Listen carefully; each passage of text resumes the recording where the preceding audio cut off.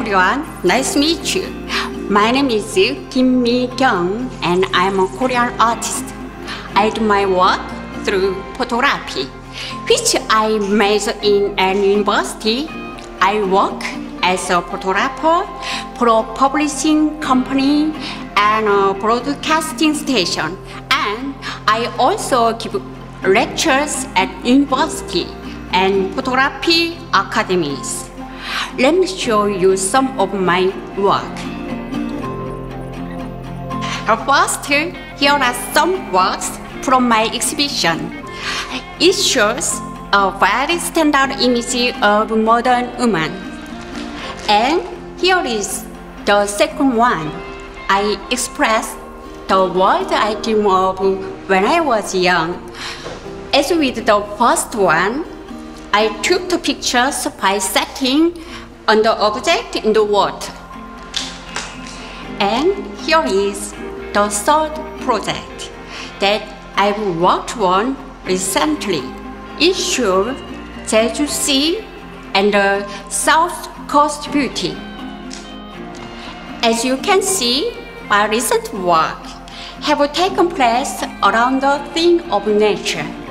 The same goes for most of my ideas with the Ten Collection project. Let me scan my Tank project to partner. Hello, my name is Kenichiro Tomiyasu, and I work at INEI Studio in Japan. I'm concept artist for movies, games, and commercials. Concept art is visualizing the concept of the work itself at the beginning of the project, producing an image by showing the world which doesn't exist in reality. Yo, and I'd like to show you some of my works. This is concept art for the game Asura's Wrath. It was very challenging but I enjoyed it. In this picture, I tried to express the very strong and unique concept overall by not just blending sci-fi and Buddhism with silhouettes and design but with color and writing also. If you see this image and feel the world of the game, my work is successful. This is a concept art for a movie called Resident Evil Damnation. I try to make it creepy by the lighting and the atmosphere in the warehouse and I designed the apparatus inspired by the shape of hornet nest. I try to think what I can make people think it is dangerous at first sight and try to show that approach. I wanted to make this something that you can hear sound or music by looking at it. I usually work in a different way, but I decided to join Ten Collection because I thought it could inspire me by expressing something totally new. So now, let's go.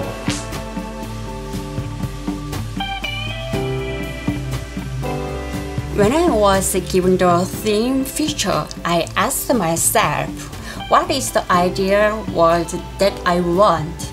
I found my answer in nature, a world filled with nothing but with no greed human, though no pain and no worries like utopia paradise. So I proposed can decide a future in nature. Mikyung's idea was simply interesting. The world that I imagined for my work usually is, for example, robot walking around or nice battling with magic dragon our world were completely different. So I thought a new creation, a little bit different from my ordinary work, will be born and it excited me a lot. We had totally different styles, so I decided to start the studio to bring the paradise in nature into the studio. I made a big tree full of fruit and then surrounded it with a beautiful forest. Some things that you could find in a fairy tales and I showed it to Ken to make him inspired.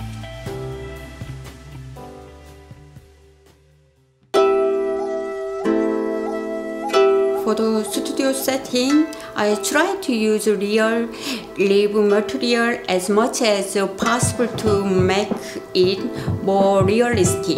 So the tree leaves and the fruits were the only artificial materials that I used and the rest were real plants.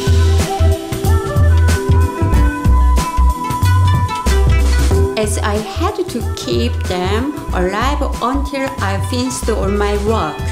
I had to water the plants every day. Watering also helped in making the light reflect so I could avoid photos with too much flat light. I use a Pentax 645D for the Ten collection work a medium format digital SLR camera because it has a high definition and I really like uh, how this camera captured the green color.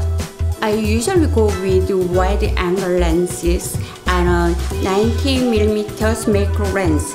Wide angle lenses are good for outdoor shooting and macro ones are good for studio shooting. I used very limited lighting for my studio shoot. I put some small lights in the tree for several reasons behind. It is very easy to shoot with a flashy lighting. However, photos can be very artificial. It would have too much contrast and the shadow would have been too sharp. I also wanted a soft light atmosphere with a soft light shadows and weak contrast like you usually have during the night. In all cases, the flash would have been too strong compared to light in the tree. The weak light coming from the tree involves a long exposure time and so stable drive is a must-have. The remote control is a course and essential in avoiding blurring so as to get clear photos. With a long exposure, the exposure time was between 15 to 30 seconds. I also put a continuous 600 watt light to simulate an extended of light?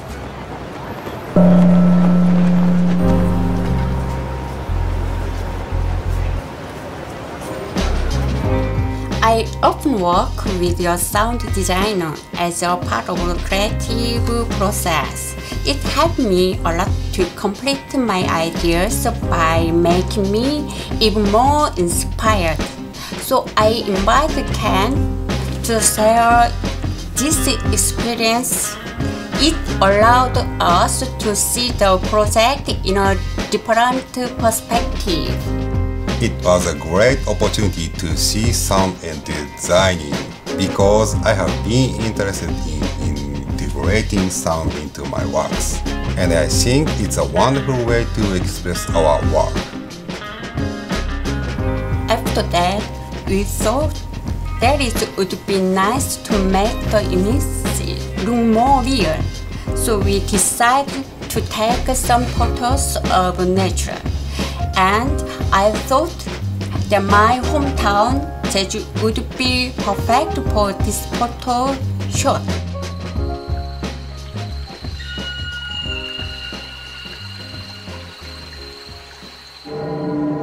The shooting in Jeju Island was uh, pretty simple. I only had to focus on the material we wanted to integrate in the creation and let the natural inspire me.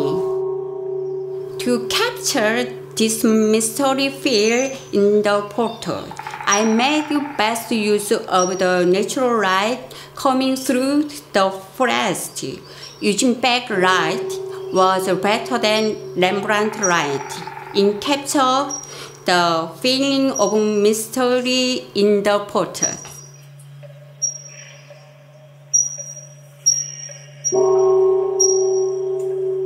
When you shoot the valley, it is very important to capture the form of it and space detail of each wall. The valley could be seen differently depending on the natural light of the day. And so I tried to closely observe when was the best moment to capture the photos with the right field.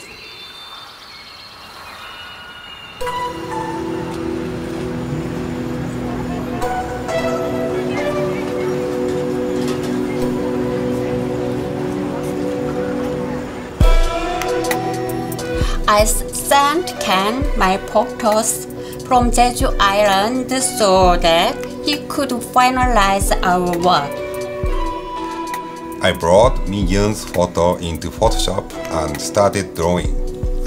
I searched photos matched to this project by using digital asset management software such as Adobe Bridge and imported them into Photoshop by drag and drop. I didn't have any difficulties to select photos this time since Mikyung has many photos of beautiful trees. I went to Fotolia website and looked for photos of skies and scapes. It's good to use search filters of the site to find photos that are closer to the image in my mind. I use keywords such as photo, high resolution, and sky this time. There are various kinds of landscape images, but I like to use the texture of rocky and rugged mountain in the distance, flowers, jungles, vegetation, and sunset. To express the delicate gradation, I used a gradient tool and applied a big gradation to the whole screen. When I draw an image, I consider that the delicate gradation is extremely important. In Japanese, we call it INEI, which I use it for my company name. When you use a computer to draw an image, it happens to use the same color for objects next to each other. In reality, with color, even with flat balls next to each other, they can't be the same color. Imagine using the eyedropper tool to check the RGB value on physical object. It wouldn't be possible to have the same value. You have to keep it in mind when you create an image on computer graphics, there is always a delicate gradation even for connected sides, which looks the same. To express the depth of field, I use aerial perspective. Creating an image can be making space into two dimensions, but it's the most important thing to create space two dimensionally at that time aerial perspective has a rule that brightness difference becomes less prominent if you go far, and we follow that rule. It also has a characteristic that blue color can look farther away and warm color can look closer. I think it's related to the atmosphere of the Earth. It's very important to make brightness balance at the beginning. When you start drawing, it is said that human eyes most likely see things with brightness balance. When you create an image, we should consider this characteristic and compose, so we have to see the whole screen. I overviewed the image and adjusted the black and white balance. Of course, you don't have to use black and white, however you always have to keep the brightness balance in mind regarding any color you use. The very last step is to add highlight and details. Highlights means very shiny areas which break down the balance of light and dark of surrounding. Highlights are created very minimally in many cases. These small, strong lights can be the point on the atmosphere in the entire image and can control the whole texture. It's very small area to paint, but I created the detail with full attention. In Photoshop, I used a very tiny brush with a few pixels and drew carefully. It was very cool to be part of 10 collection. And I think the best part of this project was definitely Korean barbecue.